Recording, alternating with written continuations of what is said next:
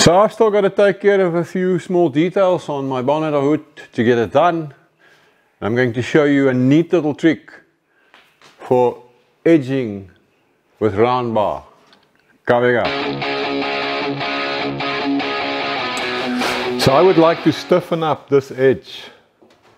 You can see it's uh, quite floppy. so I would like to put on a piece of quarter inch round bar that will help a lot. Maybe you can see it as well. This line is not nice and fair and sweet yet. So I first need to just clean that up a little bit. I think you can see it better if you look like this. You can see there's a bit of a bent there and some straight sections. It's not a nice flowing line. I'm just going to use the grinder with a flap disc and then I'm going to try and smooth this out by eye.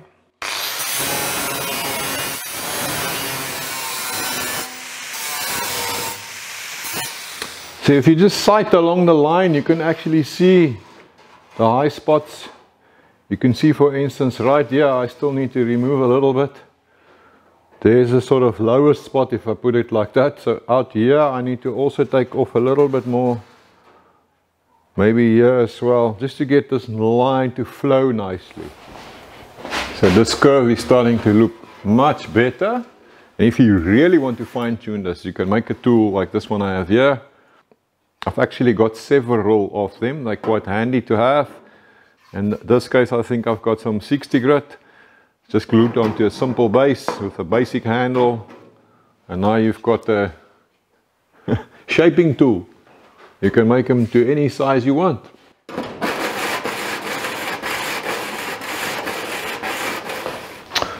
Okay, I think my curve is pretty sweet. And remember, by adding the round bar, that's going to actually in the end help us to help to smooth out the small discrepancies. So I think we're pretty damn close. So getting this gap and the curve exactly the same on both sides, that's pretty much impossible or very difficult. But in all reality, it doesn't matter because, I mean, nobody can see both sides of a car at the same time. As long as it's kind of the same in symmetrical when you look at it from the front, if this gap is a little bit smaller on one side of the car than on the other, who's gonna know? I'm gonna take my bonnet half off and stick it on the bench. It'll be just so much easier to weld on that round bar edge.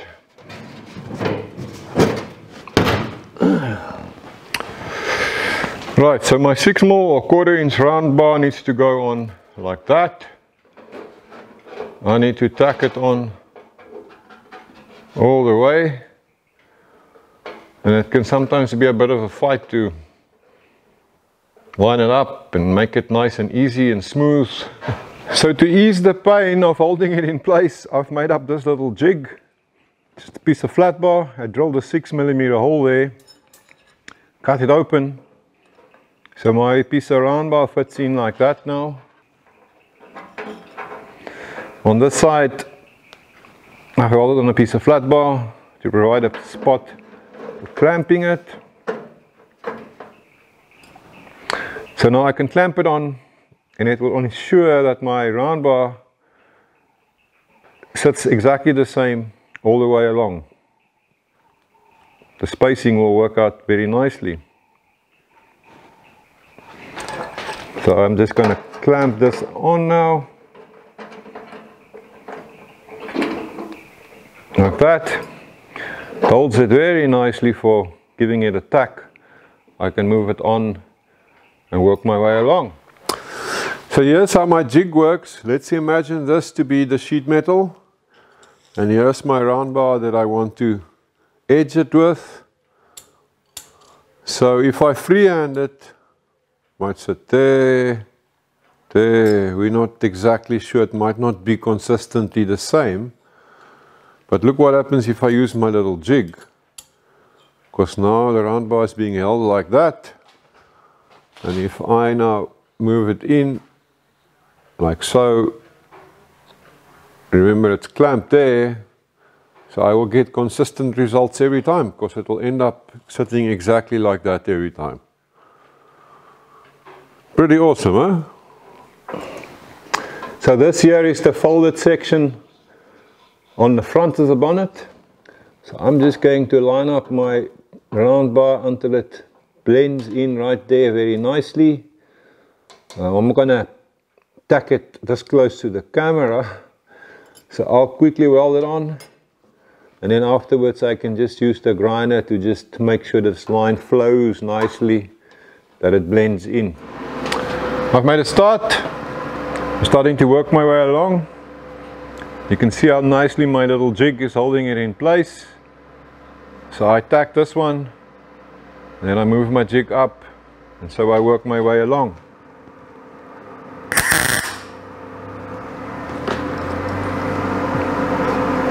I can even do this one as well, it's clear.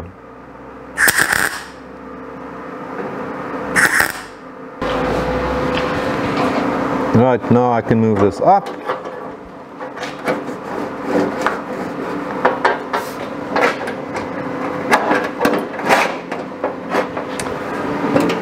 So I find the best way to do this is to just clamp your jig on nice and tight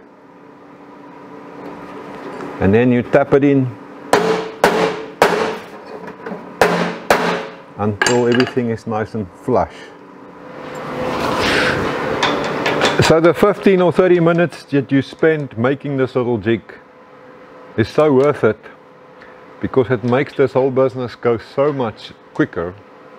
And the great thing about this is that it ensures consistency. Um, the amount that your round bar sticks out past the edge of the sheet metal is the same right through. Sweet man. Now I've just got to clean it up a little bit with the grinder and then I'm done. So while I've got the bonnet here on the table, I've still got to do some plug welds along this edge. So this flat bar that runs along this edge is currently just being held on by the, the bolts from the hinges. So I've drilled some uh, quarter inch holes, six millimeters, and I'm just going to plug weld through them to create a more permanent situation.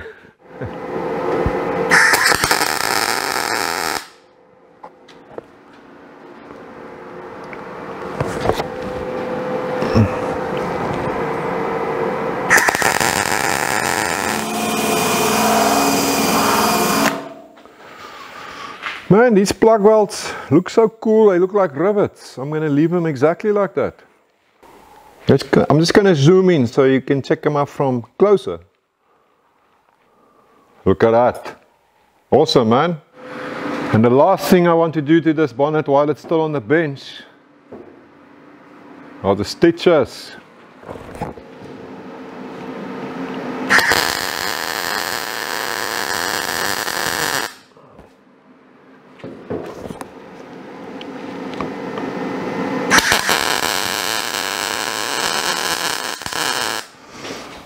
Lekker man, my sewing is done. so all my edges are done on this side, which is the side where I hinge. I've got this flat bar. It's plug welded from that side. Down here I've got my quarter inch round bar all the way along. So that's braced and stiffened these edges very nicely. Awesome, so I'm finally done with this thing. Except I've got now, I've got to repeat everything I did here on the twin brother that lives on that side. Right, much later and this bonnet hood is finally done. I'm so happy. It works very well. So uh, the only thing that remains up here now is this here. I still got to finalize this business. Thanks for spending time with me out here in my forest shop. I enjoyed it. I'll see you in the next video. Until then, have a good one.